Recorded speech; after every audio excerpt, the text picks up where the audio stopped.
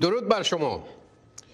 هفدهم بهمن ماه 1399 خورشیدی و پنجم فوریه 2021 میلادی.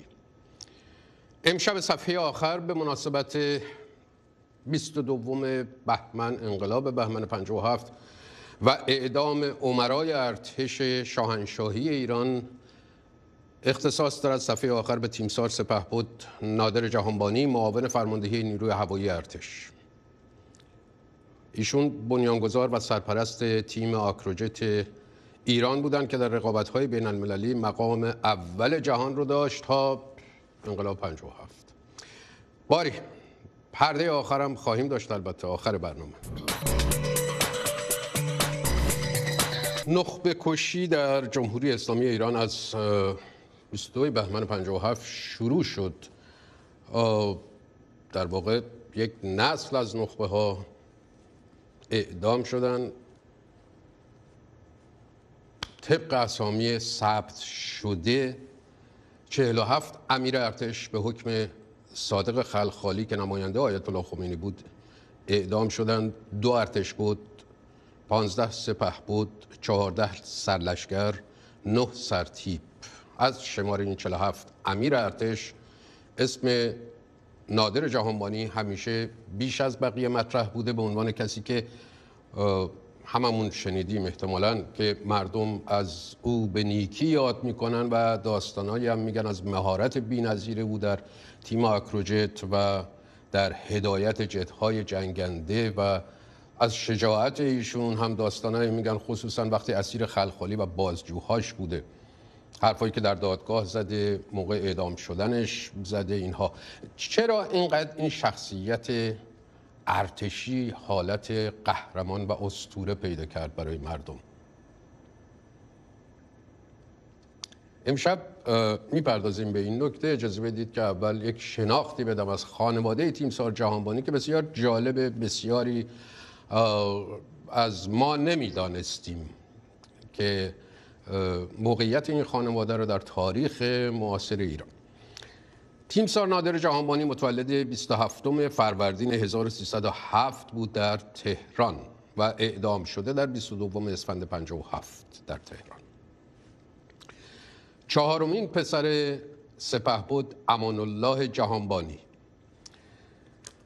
تیمسار امان الله جهانبانی شازده قاجار بود. جد پدریش فتحعلی قاجار بود و جد مادریش گلبدان خانم خازن و دوله همسر فتحعلی که گرجی بود و طبق نوشته های تاریخی دوره قاجار محبوب فتحعلی بود و آدم لایقی در امور دربار و مملکت داری و به همین دلیل صندوقدار شاه شد و خزاندار دربار شد. به همین دلیل لقب خازن و دوله رو داشت. پدر امان الله جهانبانی امان الله زیاء دوله بود. پسر جهانگیر میرزا و نوه سیف الله میرزا پسر فتح علی شاه. امان الله میرزا متولد تهران سال 1286 در دارالفنون تحصیلات نظامی کرد. افسر قزاق شد و در دوره مشروطه یکی از افسران ارشد قزاقخونه بود با لقب ضیاء دوله کی یعنی پدر بزرگ نادر جهانبانی.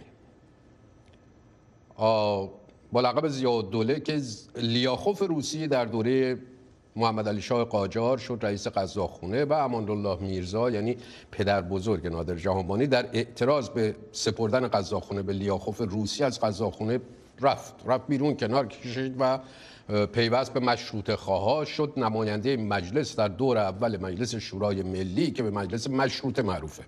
مجلس مشروط سال 1285 تشکیل شد. یه شهر 60 روز بعد از امضای فرمان مشروطه تشکیل شد و دو سال بعد از تشکیلش در سال 1287 لیاخوف روسی به فرمان ممدلی شاه قاجار مجلس رو به توپ بست که کلی نماینده و روزنامه‌نگار و اینا کشته شدن و دستگیر شدن و تبعید شدن اینها. یک سال معروف به استبداد صغیر که از همون زمان شروع میشه پدر بزرگ نادر جهانبانی مخفی است در تهران. با برآمد دوباره جنبش مشروطه از فعالان این جنبش تا بعد از فتح تهران به دست انقلابیون مشروطه در سال 1288 که میشه فرمانده قشون آذربایجان. بعد پسر او که پدر نادر جهانبانی میشه و اسم او هم امان الله او هم تحصیلات نظامی می‌کنه و در دوره رضاشاه پهلوی تا درجه سپهبدی می‌رسه. سپهبد امان الله جهانبانی. حالا چون این بعد از انقلاب اینا مثل سپهبد و سرلشکر و اینا می‌ذارم من بیشتر میگم تیمسار که یادآور اون سلسله مراتب سازمانی ارتش در قبل از انقلاب باشه بیشتر اساسا. به هر حال تیمسار امان الله جهانبانی. بعد همین امان الله جهانبانی البته مورد غضب رضا شاه واقع میشه. با وجود اینکه از او نشان زلفقار گرفته بوده و حالا اشاره های خواهم کرد. ببینید ثبت احوال مثل خیلی از نهادهای دنیای متجدد در زمان رضا شاه در ایران راه افتاد. شناسنامه و ثبت اسم و فامیل مشخصات اجباری شد. نام فامیل جهانبانی از همون دوره رضا شاه ثبت شد. البته بعضی از افراد فامیل جهانبانی بعدا اسم فامیل خودشون از جهانبانی تغییر دادن. علت می‌گویند این بوده است که تیمسار امان الله جهانبانی یعنی پدر تیمسار نادر جهانبانی که نشان زلفقار داشت از رضا شاه پهلوی سال 1316 خورشیدی به طور ناگهانی مغضوب رضا شاه میشه. میفته زندان. یک سال زندانه. از ارتش اخراج میشه. تا 1320 که محمد رضا شاه به پادشاهی می‌رسه و از تیمسار امان الله جهانبانی در واقع اعاده حیثیت میشه و تیمسار امان الله جهانبانی می‌شود وزیر در کابینه محمد علی فروغی و بعد در کابینه بعدی. در کتاب براتون بخونم که دقیقا چه گفتند حالا در ادامه صحبت خواهیم کرد. ببینید در کتاب رجال عصر پهلوی که منتشر شده تجدید چاپ شده بارها در ایران آمده است که شاه دستور اخراج تمام جهانبانی ها را از ارتش داد. یعنی بعد از مغضوب واقع شدن تیمسار امان الله جهانبانی. در نتیجه عده از آنان نام خانوادگی خود را به نام های کیکاووسی، شهبنده، فتحلی پور و جهانبینی تغییر دادن. باری. بعد از شهریور 1120 و شروع سلطنت محمد رضا شاه پهلوی از پدر نادر جهانبانی که اعاده حیثیت می شود و او می شود وزیر کابینه فروغی و بعد دولت علی سهیلی وزیر کار وزیر کشور و بعد وزیر جنگ و چند دوره هم سناتور مجلس است. پدر نادر جهانبانی همین امان الله جهانبانی با یک بانوی مهاجر روس ازدواج می‌کنه به اسم هلن کاسمینسکی. یعنی تبار تیمسار نادر جهانبانی از طرف مادر روسی است. در بین فرزندان امان الله جهانبانی البته همه تبار روسی ندارن چون ایشون دو بار ازدواج کرد. از نه فرزند سپه بود امان الله جهانبانی یا هشت فرزند. یکی از پسرها تا اونجا که بنده می‌دونم چندان علاقه به ارتش و نظامگری نداشت. خسرو جهانبانی که با شهناز پهلوی ازدواج کرد و بقیه همشون در رده های بالای ارتش بودند و حالا صحبت خواهیم کرد. از خواهرای نادر جهانبانی یکشون با محمود امانپور ازدواج کرد. عموی همین خانم کریستین امانپور خبرنگار مشهور که میشناسیمش. اینا خانواده جالبی بودن جهانبانی ها یه طرف بیشترشون ارتشی بودن. منظم و شاید بشه گفت خشن و بار اومده بودند در ارتش با اون روحیه ارتشی و از طرف دیگه با شاعران و خانواده هاشون نشست و برخواست داشتن از اول. پدر بزرگ نادر جهانبانی امان الله میرزا با دختر عبدالحسین میرزا شمس و شعرا ازدواج می‌کنه. جدشون سیف الله میرزا با نوه نشاط اصفهانی ازدواج کرده بود که یعنی تمام خاندان جهانبانی از طریق مادر قبل از رسیدن به خازن و دوله به نشاط اصفهانی می‌رسن. خب نادر جهانبانی در چنین خاندان و خانواده متولد میشه در 27 فروردین 1307 18 سالشه یعنی سال 1325 بگیریم. به روسیه اعزام میشه برای تحصیل خلبانی در دانشگاه خلبانی نیروی هوایی روسیه. بعد از فارغ التحصیل شدن برمیگرده ایران در نیروی هوایی ارتش شاهنشاهی خدمت می‌کنه. بعد برای آموزش خلبانی جت میره آلمان و اونجا با لیدر تیم آکروجت آمریکا آشنا میشه اینجور که در زندگی نامش نوشتهاند. بعد برمیگرده ایران و تیم آکروجت طلایی ایران رو راه میندازه با یه از بهترین خلبانای نیروی هوایی ایران. یک سال بعد در مسابقه تیم های آکروجت روسیه ایران و آمریکا تیم آکروجت نیروی هوایی ایران اول میشه و این افتخار و نادر جهانبانی تا بهمن 57 داشت که هیچ تیم آکروجت در جهان نتونسته بود با تیم آکروجتی که او پایه گذاشته بود رقابت بکنه. تیم سار نادر جهانبانی همیشه معاون فرماندهی نیروی هوایی بود. این نکته بگم بعد میریم سراغ مهمان گران قدر برنامه. همیشه معاون فرماندهی نیروی هوایی بود در حالی که دو نفر از اعضای تیم آکروجتی که او تشکیل داد سال 1337 یکیشون همون موقع تازه فرمانده نیرو هوایی شده بود. یا شد همون موقع همزمان ارتش بود خاتم رو عرض می‌کنم. و یکی دیگه هم که اصلا زیر دست تیم سار نادر جهانبانی بود. سپه بود ربیعی رو عرض می‌کنم که بعدا اونم شد فرمانده نیروی هوایی. ولی تیم سار نادر جهانبانی نشد. حالا اینا رو صحبت می‌کنیم. در خدمت آقای انوشیروان جهانبانی هستیم.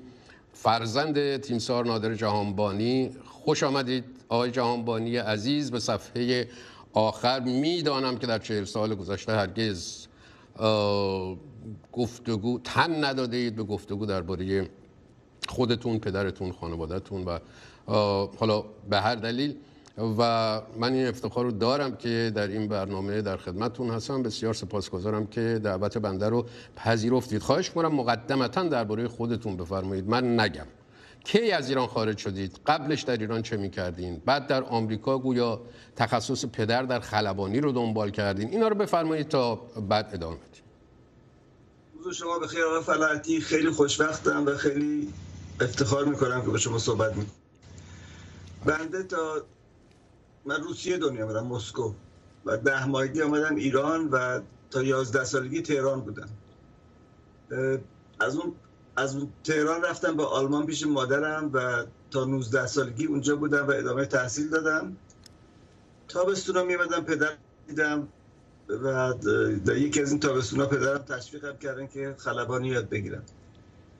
که شروع کردم و در سن 16 سالگی سولو شدم. یعنی اولین بار بود که رو تنها پرواز دادم. اون موقع من تصدیق رانندگی هم نداشتم. راننده باید منو میبود فرودگاه که پرواز کنم. بعد بین تابستونا که می ادامه دادم به پرواز تا وقتی که دفعه آخر که آمدم ایران سن سربازی بودم و دیگه ممنون خروج شدم مجبور شدم که ایران بمونم. سال آخر دبیرستان رفتم این مدرسه بین المللی تو تهران به اسم ایران زمین که همه درسا به انگلیسی بود و برای من یکم مشکل بود ولی موفق شدم و فارغ التحصیل شدم و رفتم مجبور شدم برم سربازی. چون من تو موقع دیگه خلبانی ساعتاش بالا رفته بود و معلم خلبان بودم بردنم قلم مرغی و معلم خلبان شدم. و شاگردام دانشجوهای افسرهای دانشجوی نیرو هوایی بودن که تازه آمده بودن و قرار بود ببینن که آمادگی پرواز دارن یا ندارن؟ که من معلمشون بودم. تو اون موقع خلبان شخصی خیلی کم بود تو ایران. همه ارتشی بودن و کم بود خلبان بود و من انتقال دادم به شرکت ارتاکسی که در اونجا پروازهای مختلف کردم. تو دوران سربازی به پست جنوب بود که از آبادان می‌رفتم تو چابهار تا زاهدان که چهار روز طول می‌کشه رفت و برگشتش. بعد از بعد به جزایر خلیج فارس خیلی پرواز می‌کردم با هواپیمای بزرگ. بعد فرستادم به کاووس سه ماه سنپاشی کنم. تو مابینم تو ایران تو تهران پرواز می‌کردم و یواش یواش captain هواپیما شدم و تصدیق commercial گرفتم. بالاخره سربازی تموم شد و من تو این مدت برای دانشگاه نامه نوشته بودم و دانشگاه Yale قبول شدم و آمدم بیرون از ایران و رفتم آمریکا رفتم تگزاس. تو موقع ساعت پروازم خیلی بالا رفته بود. بالاترین تصدیق هواپیمایی که airline transport pilot هست اونجا گرفتم. و بعد از اون رفتم یه چهار سال اقتصاد خوندم و بعد از اون برگشتم ایران.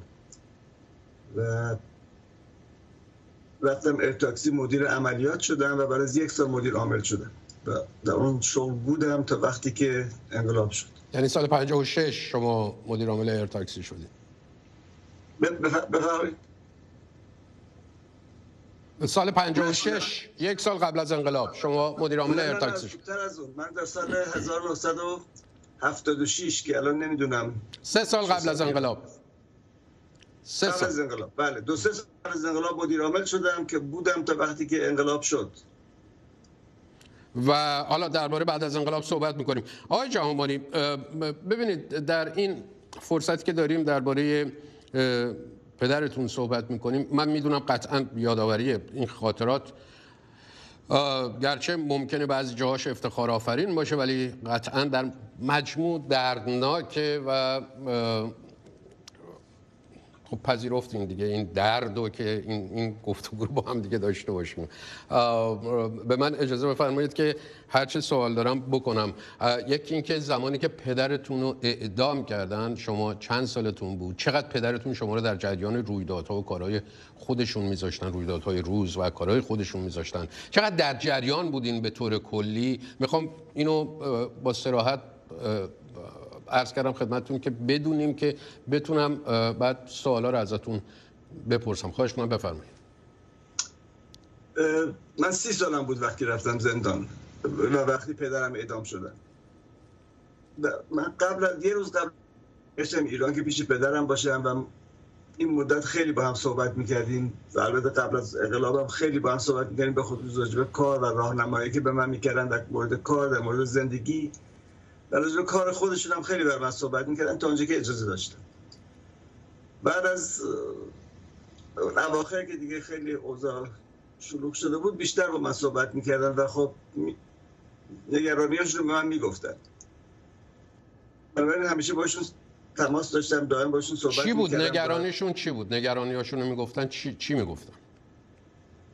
پدرم خیلی زود متوجه شدن می‌گفتن من از این بلبشو زنده در نخواهم اومد و اینجا همش خون خواهد بود قبل از انقلاب و به من اصرار می‌کردن از ایران برم که زندگی راحتی کنم که من باز برگشتم از آلمان ایران که پیش پدرم باشم. ولی پدرم خیلی حس می‌کردن که داره تموم میشه اوضاع. خود پدرتون چرا از ایران نرفتن؟ من آلمان که بودم به پدرم زنگ می‌زدم. می‌گفتم که شوهرم که رفته شده شما بیاین بیرون. می‌گفتن من سرباز این وطنم جام تو این وطنه و باید بمونم. حالا این همه سال گذشته فکر می‌کنم که درست تصمیم گرفتم. برای اینکه پدرم اگه بیرون میامدن همیشه زج میکشیدن همیشه خجالت میکشیدن و می‌گفتن جام تو ایران هم جاشون هم تو ایران بود. آقای جهانبانی پدرتون رو روز 22 بهمن اینطور که در اخبار و روزنامه های اون موقع اومد در یک پادگانی در تهران بازداشت می‌کنن. حالا من نمی‌دونم با سیستم بازداشت های وحشیگرانه اون موقع در واقع چقدر ضرب و شد در کار بوده چجوری بوده میبرنشون زندان. یک ماه زندان بودن. 22 اسفند اعدام میشن ایشون. چرا یک ماه زندان نگرشون داشتن؟ نمی‌دونم تردید داشتن در اعدام کردنشون. می‌دونین چیزی شما. آیا مثل فرض بفرمایید همکاری گرفتنی که از بعضی از یکی دو تا از عمرای ارتش گرفتن مثل فردوست. آیا فکر می‌کردن می‌تونن پدرتون رو به سمت خودشون بکشن. چرا یک ماه؟ چون خیلی ها رو سریع اعدام کردن. پدرم در دوشون تپه بازداشت کردن. البته اون موقع مثل خیلی با احترام هم بردن. یه عده رو بردن مدرسه رفاه. تا لحظه آخر ما باشون صحبت می‌کردم بعد یه دفعه دیگه رفته بودن. دلیل نگه داشتنشون بگه رژیم خودشون هم نمیزن چی کار می‌خوان بکنن. هیچ هماهنگی با هم نداشتن نظامی نداشتن. و اگه یادتون باشه تو روزنامه اعلام کردن که همین اشخاص دارن اعدام می‌کنن. که نکردن هم موقع. یه عده می‌خواستن همه اعدام بشن یه عده می‌خواستن که نکنن این کارو. خلق خالی جز اونها بود که همه می‌خواست اعدام کنه و کرد. و وقتی که پدرم رو اعدام کرد مثل دو... نه خمینی نه براش اطلاع داشتن که این کار می‌خواد بکنه و خیلی هم خیلی هم مخالف این کار. نه به خاطر زندانی یا پدرم به خاطر اینکه می‌خواستن ظاهر حفظ کنن و نشون بدن که رژیم اسلامی خیلی مهربون و خشن نیست که بله. نتونستن ثابت کنن. دلیل همین دلیلش فقط اینه که چرا انقدر نگه داشتن. خیلی رو طول کشید تا اعدام کنن برای اینکه نمی‌تونن تصمیم بگیرن که این کارا رو بکنن یا نکنن. دو دسته بودن دیگه.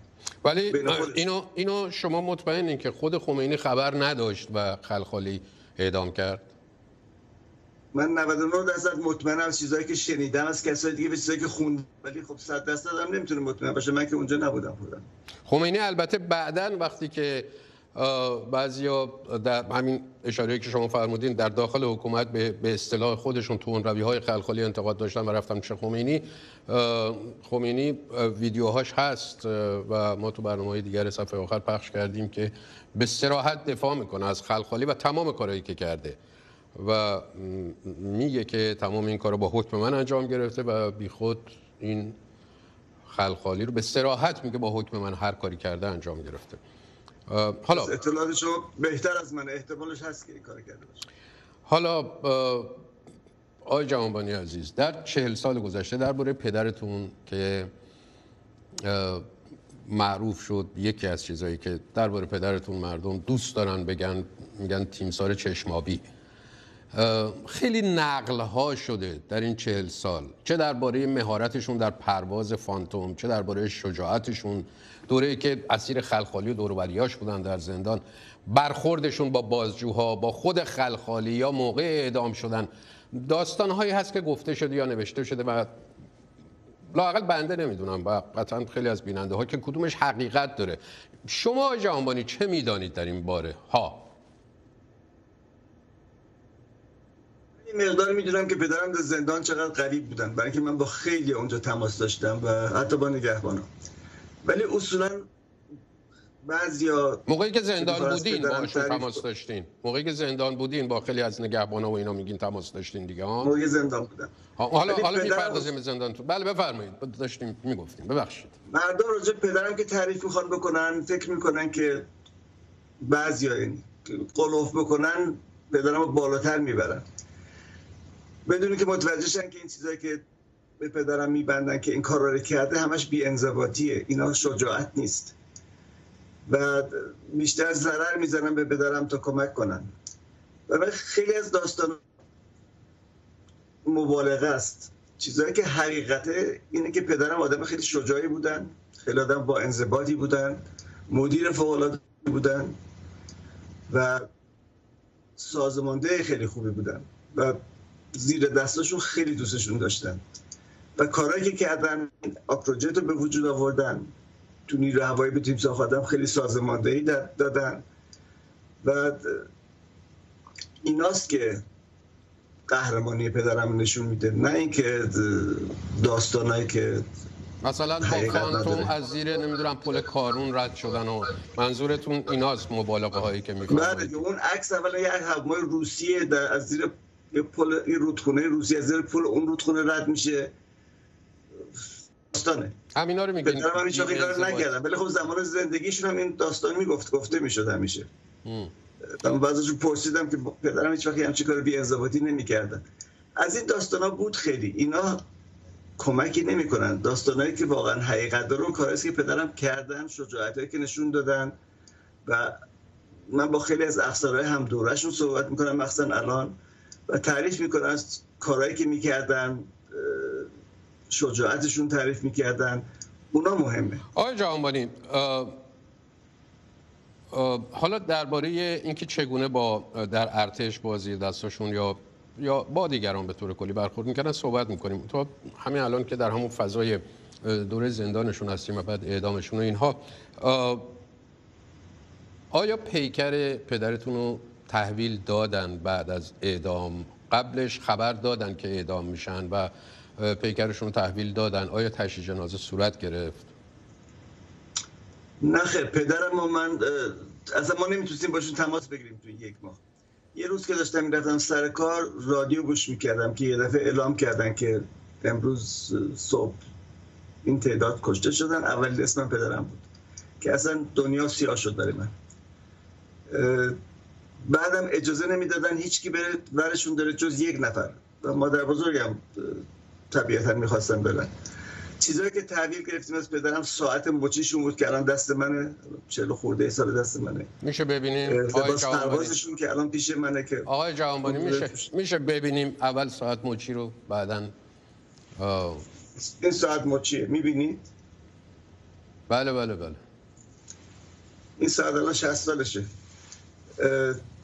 لباس پروازشون پیش منه که جای تیر توشه وسیعت نامشون اومد بیرون. همه اینا ببینید اون وسیعت نامه اون چیزی که با خط خودشونه و ما داریم می‌بینیم اون وسیعت نامه چگونه به دست شما رسید و و اگر ممکنه بخونین خودتون همون چند سطر رو کی به دستتون رسوند؟ و کی؟ اونو وقتی که چیزای پدرم رو تحویل دادن اونم با همون اومد بیرون. بعد بعد همشون آوردن پیش مادر بزرگم. مادر بزرگم فقط لباس نگه داشتن بقیه چیزا رو همه رو من برداشتم. بردم همراه بردم آخرم بردم آمریکا. مادر بزرگم گفتم بعد از مرگ من لباسم به تو می‌رسه. لباسم آمد پیش من بعد از فوت مادر بزرگم. متاسفانه اون جلوی من نیست الان اون خب من چون خودم نمی‌تونم بخونم واقعا اجازه بدید که ما اینو تصویرش رو داریم می‌بینیم. بیننده ها همه خودشون می‌خونند. یه هم دستخط تیمسار جهانبانی است و هم آنچه که نوشتند.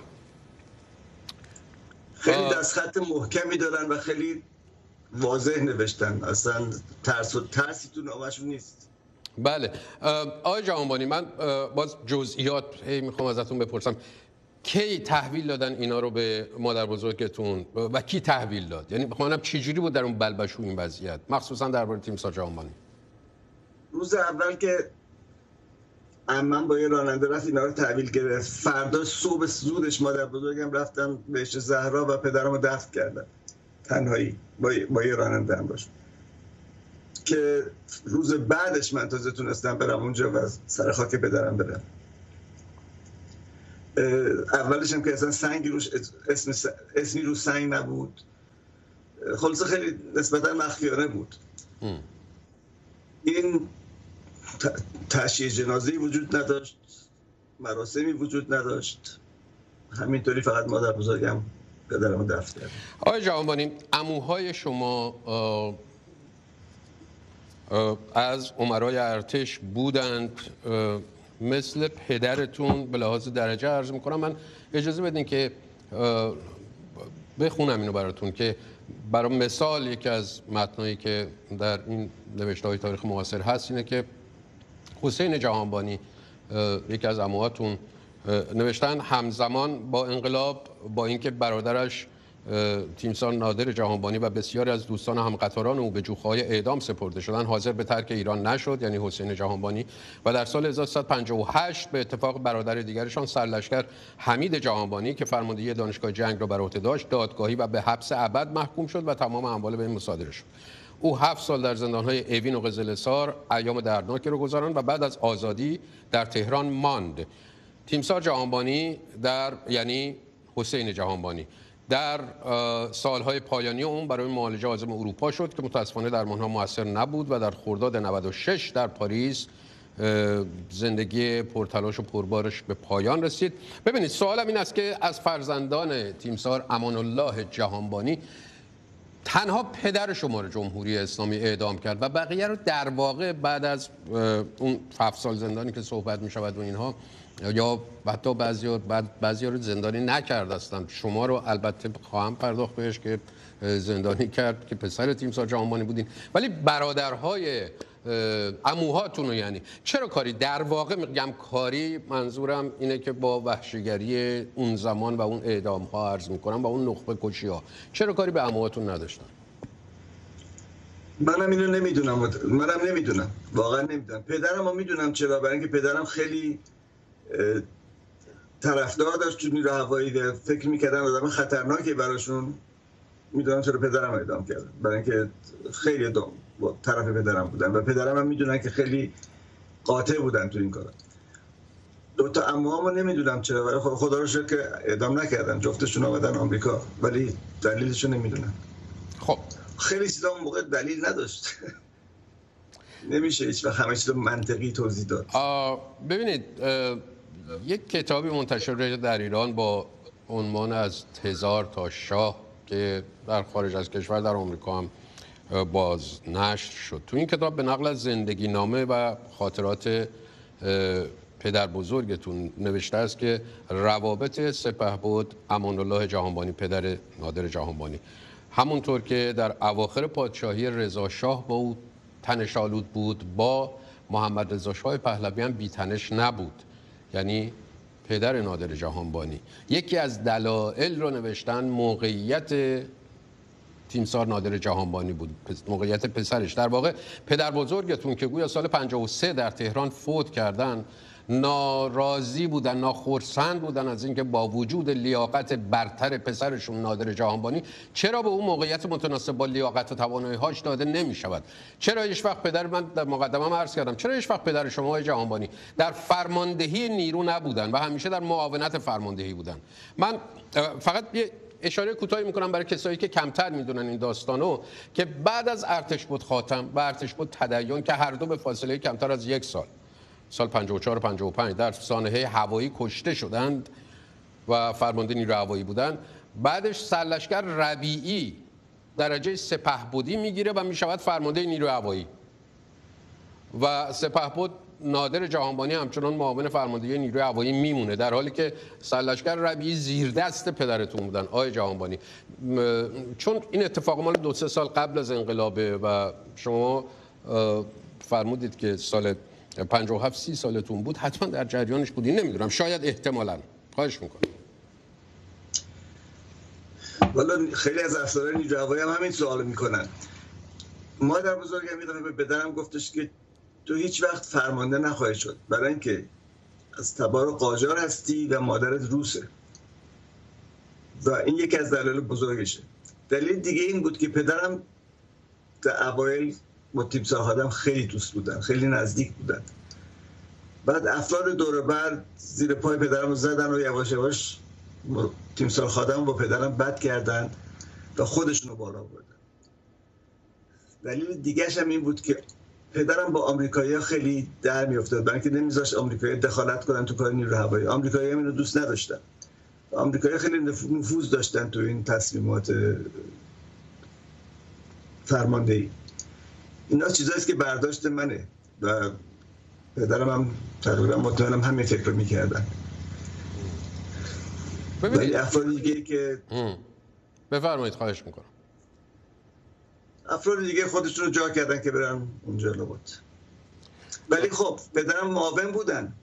ولی همیشه یه جا معاون بودن که تیمسار خاتم که بیشتر وقت تیمسار خاتم فرمانده پدرم بود. همیشه مستقیم با پدرم تماس می‌گرفت نه با فرمانده اون قسمت. مثلا دستفول که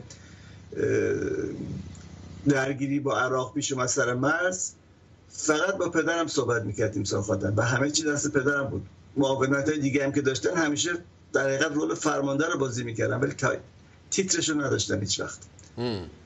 عملا فرماندهی نیرو رو داشتن ولی و به ویژه فرماندهی پرسنل رو داشتن و ولی سمت یکی دیگه داشت. حالا. سمتش رو هیچ وقت نمی‌گرفتن نه. ببینید. و پدرم یواش یواش قبول کردم. برای اینکه می‌گفتن که آخرش باید به نیرو هوایی خدمت کنم. برای خودم که نیستش. و واقعا خدمت می‌کردن. اونم خودش قدرتی می‌خواد آدم این کارو بتونه بکنه. او بله. یکی از کسانی که من نمی‌دونم از زیراب زنا یکیشون سپه بود. آذر برزین بوده است یا نبوده است. آنچه می‌دانیم این است که یکی از افسرهای زیر دست پدر شما بود. ولی شد جانشین فرمانده نیروی هوایی بعد از انقلاب هم تا ششم اسفند 57 فرمانده نیروی هوایی شد نیروی هوایی جمهوری اسلامی شد. بعدم یه مدت عضو شورای عالی دفاع شد با همین خامنه ای و اینها. می‌دونیم میبینیمش سیمای جمهوری اسلامی گفتگوهای از او پخش می‌کنه که علیه پدر شما هم حرفایی زد که شما یه جوابیه ای نوشتید که البته به جزئیات اشاره نکردین و گویا خیلی عصبانی بودین از دستش که این جوابی رو نوشتین. در حالی که هیچ وقت شما واکنش نشون نمی‌دادید به چیزایی که جمهوری اسلامی مثلا درباره پدرتون می‌گفت خوب یا بد هر چی. مشکل تیمسار آذربرزین با پدر شما چه بود؟ و اصلا آذربرزین کی بود؟ چرا چگونه سازش کرد با آخوندا چقدر خبر دارین شما آقای جهانبانی؟ آذربرزین یک شخصی بود که تو مهرآباد که من زندگی می‌کردم همسایه ما بود. و من از اون اولم از این شخص خوشم به پدرم هم می‌گفتم. ولی خب پدرم خیلی باش دوست بودم آذربایجان خلبان خوبی نبود فرمانده خوبی هم نبود. و عقده عجیبی داشت مخصوصا به کسایی که آکروجت پرواز می‌کردن چون تو کتابش هم اینو چندین بار تکرار کرد. عقده داشت راجع این آدم بود که مارمولک بازی زیاد می‌کرد. پشت صحنه خیلی کار می‌کرد. و با پدرم بعد بود برای اینکه عقده ای داشت به پدرم راجع به همین موفقیت پدرم. اون موقع خب پدرم خیلی موفق تر از اون بود دیگه. و آذربایجان از من مطمئن می‌دونم که از یک سال قبل از انقلاب با این رژیم همکاری داشت می‌کرد. اون صد درصد می‌دونم. و به امید اینکه یه روزی فرمانده نیرو هوایی بشه که شد. ولی بعد از دو ماه به خاطر اینکه افسران نیرو هوایی این آدم قبول نشدن و منفور بود برش داشتن باز. بعد رفت پشت صحنه با اینا کار کرد خیلی زیاد. راحت هم اومد آمریکا. چطور ممکنه که کسی که جانشین فرمانده نیرو هوایی هست اگه خائن نباشه چطور می‌تونه زنده در بیاد؟ این سوالی است که خب جوابش مشخصه. کتابش هم اگه بخونید که جز از تعریف از خودش و بدگویی از بقیه چیز دیگه ای نیست حتی کسی مثل تیمسار خاطن که اینقدر به این کمک کرد. بعد این بد می‌گفت. یه جایی می‌گفت پدرم چقدر کمکش کرد. صفحه بعد بد می‌گفت. این دلیلی بود که من براش نامه نوشتم. من که من که میشناختمش. و یکی چیزایی که خودش اقرار کرد که یه لیست افسران نیرو هوایی که تو زندان بودن براش آوردن و گفتن که کیو ادام کنیم که نکنیم. با کمال وقاحت نوشتی که من من لیست رو انتخاب کردم که ادام بشه کی نشه. خب می‌دونیم کیا رو انتخاب کرد دیگه. این آدم به نظر من خیلی خائنه. و این دلیل من جواب خیلی تندی براش نوشتم. برای اینکه هر چیزی حدی داره. من نمی‌دونم که آیا آذربایجان گویا فوت کرده زنده است؟ فوت کرده بله. بله. متاسفانه. متاسفانه برای اینکه هر کدوم از یا خیانتکارا یا مسئولان جمهوری اسلامی که میمیرن منم میگم متاسفانه برای اینکه اتفاقی هنوز نیفتاده که اینها زنده بمانن و بتونن پاسخگوی کاری که کردن باشن. ببینید یک مختصری دو سه دقیقه حد شاید کمتر اگر بشه چه بهتر چون من می‌خوام به اون دوره شش ماه زندان پنج شش ماه زندانی که شما بودیم بپردازم. اون موقع قطعا دوره مهمی است. یه 7 ده دقیقه وقت داشته باشیم برای اون موضوع. یه مختصری آقای جهانبانی عزیز درباره خصوصیات پدرتون. چرا انقدر محبوب بود در ارتش؟ منظورم تنبیه کردنش تشویق کردنش. من کاری ندارم که توی خانواده چجوری برخورد می‌کرد شما عاشقانه باهاشون در رابطه بودید یک پدرتون بود دو اینکه در واقع خیلی حرفا رو با هم دیگه می‌زدید. سنتون فاصله سنیتون 20 سال بیشتر نبود رفیق بودین با هم دیگه همه روشن. در ارتش چرا انقدر محبوب بود؟ مردم ایمان داشتن به بدارم برای اینکه انضباط داشت و کاری که می‌گفت خودش می‌کردن برای سر چیزی. شما میگید که ارتش خشن. اصولا تو ارتش نقل و نبات پخش نمی‌کنن. حرف زدنشون خشنه. برای اینکه دستور همه چی. این ارتشه. ولی پدرم به موقع تنبیه می‌کرد. این هنر مدیریتشون بود. به موقع تنبیه می‌کرد. به موقع ترم تشویق می‌کرد. و مردم می‌دیدن که خیلی منصفانه عمل می‌کنه. برای همینم موریدشون بودن. که می‌دونستن هیچ چیزی رو از رو بدجنسی نمی‌کنه ولی از روی انضباط و درس دادن و اینا می‌کنه. و افسرهایی که باشون پرواز می‌کردن تو آکروجت و افسرهای جوونی که بعدها رفتن تو آکروجت با من, خیلی با خیلی افسرها صحبت می‌کنم. همشون همونو میگن که چقدر این آدم منصف بود چقدر استاد بود چقدر ماهر بود. پدرم خیلی انتظار داشت از کسانی که باش کار می‌کردن که بهترین کار رو انجام بدن همچنین از ما فرزندانشون من و خواهرم هم همینطور. این انتظار رو پدرم از همون داشتن و به موقع هم تنبیه می‌کردن به موقع هم تشویق می‌کردن. و خیلی تشویق های پدرم بود که منو به خلبانی کشوند و به مدیریت خوب کشوند. برای اینکه واقعا نشون می‌دادن که چجوری این کارو باید کرد. و افسرهای دیگه هم به همین دلیل. من هر افسری با من صحبت می‌کنه همین حرفو می‌ذاره آقای جهانبانی موقعی که اعدام شدن کسی از داخل زندان با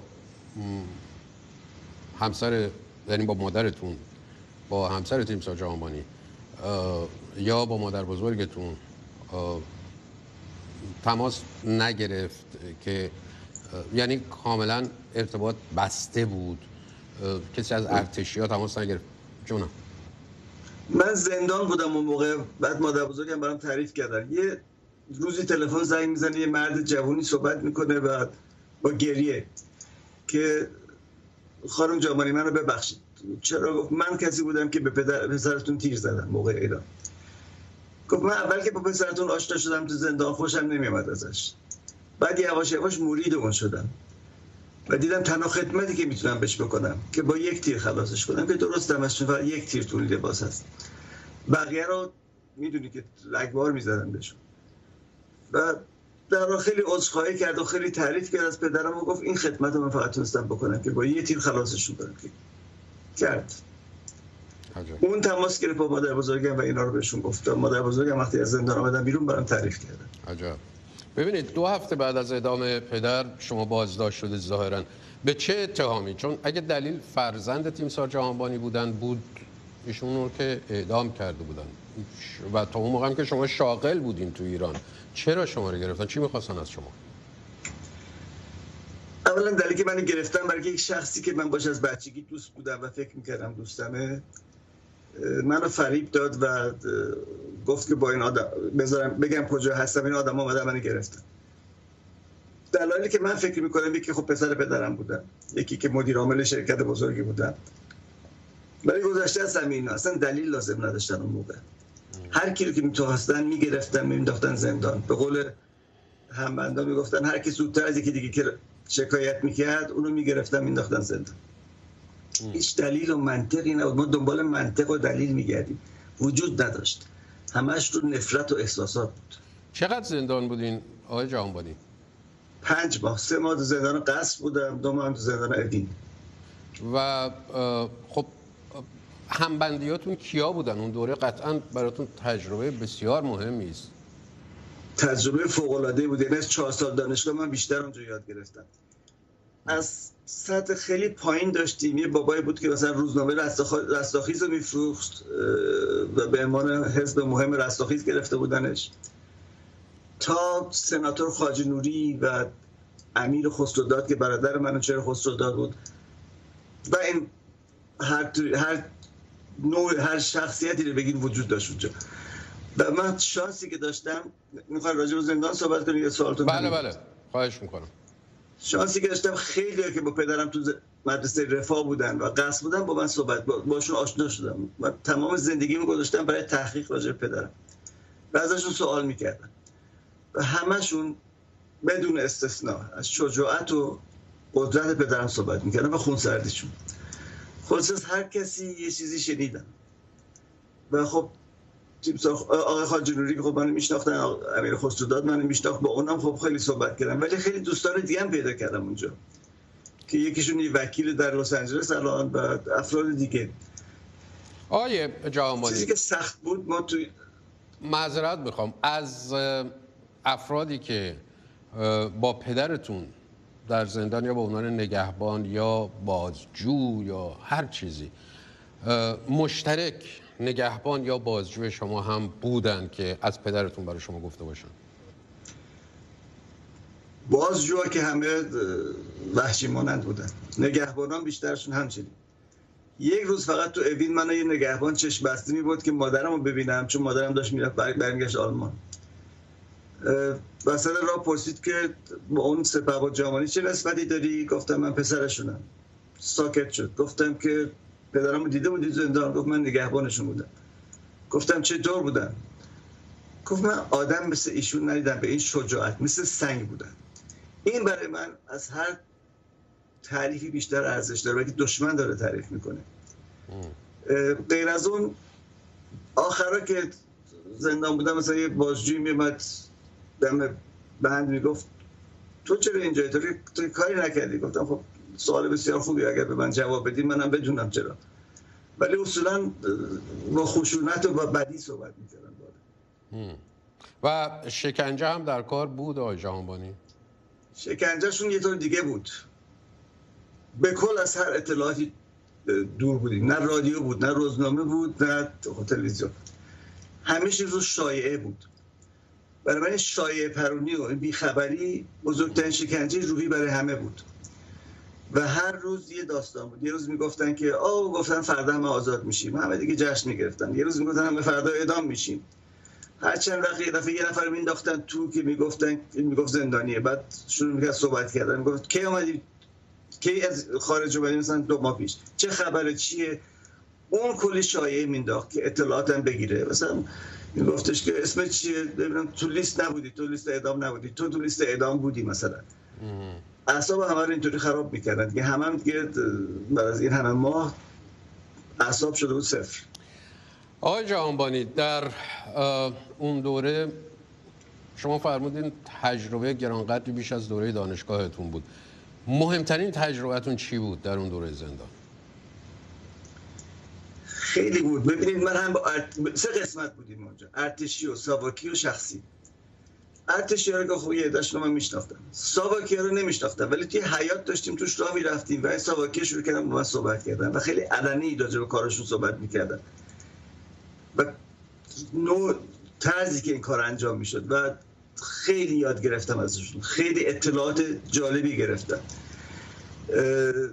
خیلی هم برام تعریف می‌کردم و خیلی چیزا رو روشن کردم برای من. مثلا؟ بفرمایید خواهش می‌کنم. مثلا یکی چیزایی که اون می‌گفت میگفتش که این شکنجهایی که میگی می‌گفتن که ما میدیم این شکنجه اینطوری اونطوری اینا رو ما شایعه می‌کردیم. برای اینکه ترسه که مردم رو دور نگه میداره از اینجا ترس که بریزه دیگه.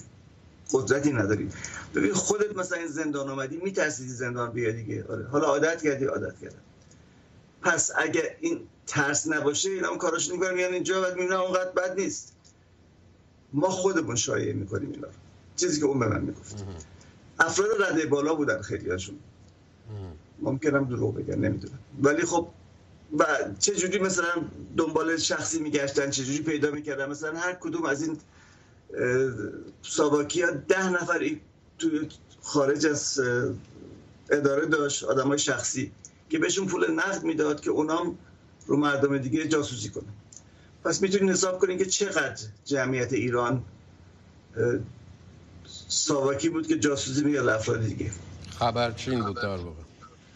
بعد یه دمون شخصی بودیم دیگه ماها بودیم. بعد هر چند روزی دفعه نگهبانه میمدن تو می‌گفتن لیست تهیه کنین از ارتشیا ساواکیا و شخصی هر چند وقت دفعه نوبت من می‌شد که لیست شخصی رو جمع کنم.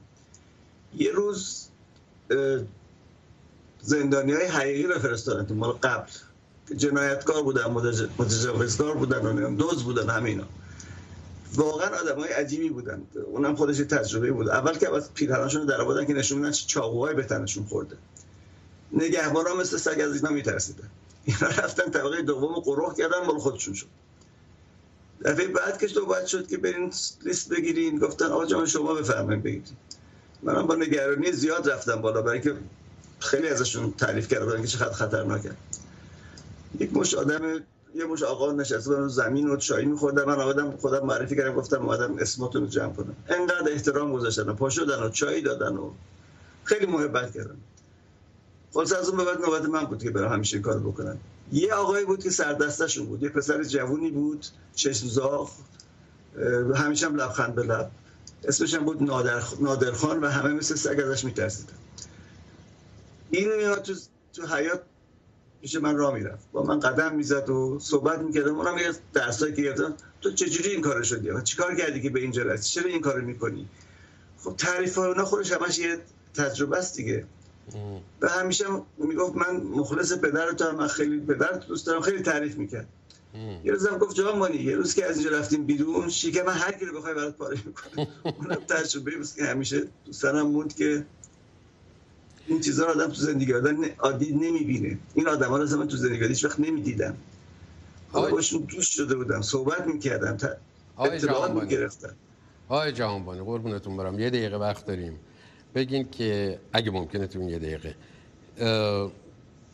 افتخار آفرین ترین کسی که غیر از پدرتون با شما همبند بود و کسی که واقعا شرمتون میشه اسمش رو بیارید حتی در بین اونایی که اونجا بودن از ارتشی ها و ساواکی ها ببیشه دوتا. کیا بودن؟ اگه می‌تونین اسم بیارین بعدم فرصت خواهیم داشت می‌پردازیم بگید ببخشید یه دقیقه دیگه سوال بفهمید عرض کردم عرض کردم یه دقیقه بیشتر وقت نداریم. چه کسی شما رو بیش از همه تحت تاثیر قرار داد؟ چه مثبت؟ از همبنداتون چه منفی؟ خدمتتون عرض می‌کنم یک پاسبانی بود که یه دفعه آمدن به برش اعدام کنن. انقدر مرد بود و آقا بود و گردن کلوف وایستاد به همه دست داد خدافزی کرد. نه ترسی نشون داد نه گریه کرد. اون همیشه براش احترام قائل بودم. درجه مهم نبود. توش چی بود؟ و, و بعد کی, کی, کی به عنوان یک کسی که واقعا مایه شرمساری شخصیتش بود. خیلی ها بودن. متاسفانه آدم های درجه خیلی بالا که وقتی می‌خواستن ببرنش اعدام زار می‌زدن خودشون به میلا و زون می‌کردن. دو دقیقه سب کنده آدم دل, دل خراش بود ولی بعید از کسی که بدونه داره در حال عمل انجام خواهد شد. اونا خیلی ناراحت می‌کردن. بسیار بسیار سپاسگزارم آقای انوشیروان جهانبانی عزیز فرزند تیمسار نادر جهانبانی. که در خدمتتون بودیم دعوت بنده رو پذیرفتید. به امید دیدارهای آینده تندرست باشید و همیشه پایدار. خیلی از لطفتون ممنون. آقای فراتی خوشبخت شدم. بریم پرده آخر. آقا یکی از همسران رسول الله زینب بنت جحشه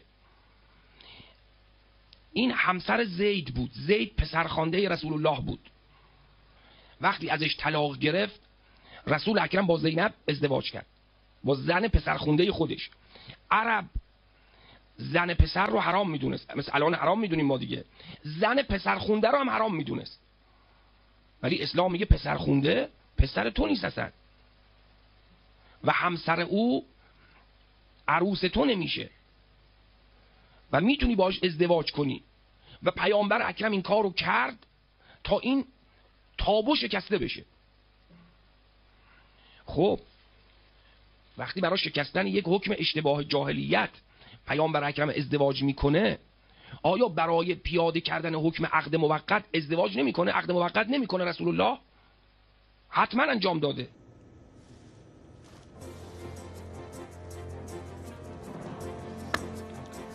شب و روزگار خوش.